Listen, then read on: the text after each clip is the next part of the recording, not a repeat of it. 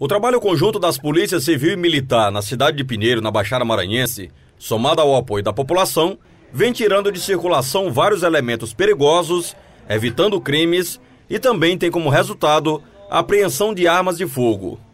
Nos últimos dias, duas submetralhadoras foram apreendidas pelos policiais durante operações realizadas. Realizamos a, a prisão de dois indivíduos, de três indivíduos, melhor dizendo, que estavam praticando, tinham praticado roubo de moto. Então eles roubaram uma moto ali no povoado Ribeirão do Meio. Nós fomos acionados pela, é, pela comunidade que tinha é, ocorrido esse roubo lá.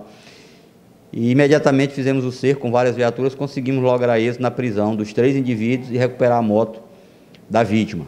E com esses indivíduos é, foi encontrada uma arma de fabricação artesanal, é, que nós conhecemos aí no, no, no, no linguajar é, do, do, policial por macaquinha ponto .40. Então isso é uma submetralhadora de fabricação artesanal que usa munição ponto .40. Inclusive, nós sabemos que é uma munição, é uma arma de uso restrito das forças de segurança. Então, isso é preocupante, é a segunda, segundo armamento desta natureza que é encontrado. É, os companheiros da Polícia Civil, em uma operação em Bequimão, também aprenderam um armamento é, com essas características. E esses indivíduos que foram presos, que roubaram essa moto, eles, no depoimento lá na delegacia, eles relataram ao delegado que teriam adquirido essa arma em um povoado aqui de, de, de Pinheiro.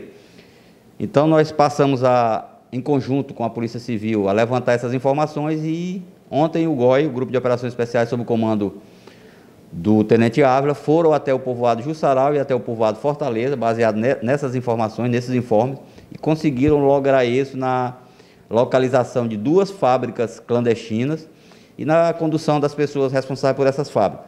Durante depoimento na quinta delegacia regional, os homens pegos com essas armas passaram a informação de que dois povoados aqui na cidade de Pinheiro haviam a existência de fábricas clandestinas de armas. A polícia, mais uma vez, em uma ação conjunta, estiveram nessas localidades e conseguiram prender os fabricantes e apreender todas as armas.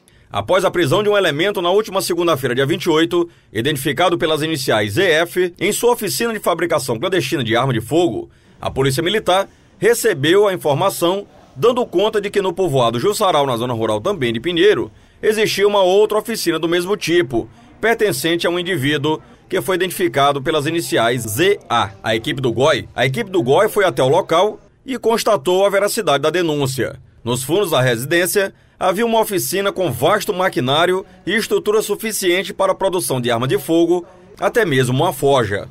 Durante a prisão, o homem identificado pelas iniciais ZA afirmou que a submetralhadora calibre .40, de fabricação caseira, apreendida na última segunda-feira, foi produzida na fábrica do colega, morador do povoado Fortaleza, também na zona rural de Pinheiro.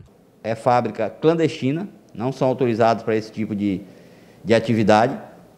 É, e o pior, são armas, parte delas que estão sendo colocadas na mão de delinquentes para praticar assalto, aterrorizar a sociedade e armas de uso restrito, inclusive, que é o caso da ponto .40. Então, de parabéns aí o Tenente Ávila com sua equipe, de parabéns à Polícia Civil, através do Dr. Tanaka, que foi o delegado responsável lá pelo, pelo flagrante, pelo interrogatório dos presos. A oficina possuía maquinário pesado e fixado em bancada. Tinha compressor, serras elétricas e forja, não sendo possível a remoção e apresentação na delegacia. Todo o arsenal foi levado para a 5 Delegacia Regional, conferido e passado as informações para a Justiça. O comandante fez um apelo direto aos moradores dos povoados que ajudem com denúncias e garantiu o anonimato do cidadão. Essas duas fábricas, nesses dois povoados, é, fábricas clandestinas, já estavam funcionando certamente há bastante tempo. E a comunidade desses dois povoados certamente sabiam disso. Agora, não sabemos se não denunciaram por medo de represálias ou se achavam que aquilo era normal. É, imaginavam talvez que ele estava fabricando espingardas bate-bucha para vender para caçadores, cidadão de bens, etc. Mas não era isso que estava acontecendo. Então a gente pede à comunidade, principalmente à comunidade dos povoados, que é onde a polícia não está com a presença constante, por motivos óbvios, nós pedimos a essas comunidades dos povoados que entrem em contato conosco e passem as informações de atos ilícitos que ocorram nesses povoados, tráfico de droga, tráfico de armas, roubos, furtos, enfim. É, nós faremos o possível para atender a todos é, para que a gente possa dar a resposta para as comunidades que moram nesses povoados que também têm o direito é, à segurança pública, têm o direito à presença do Estado nessas localidades.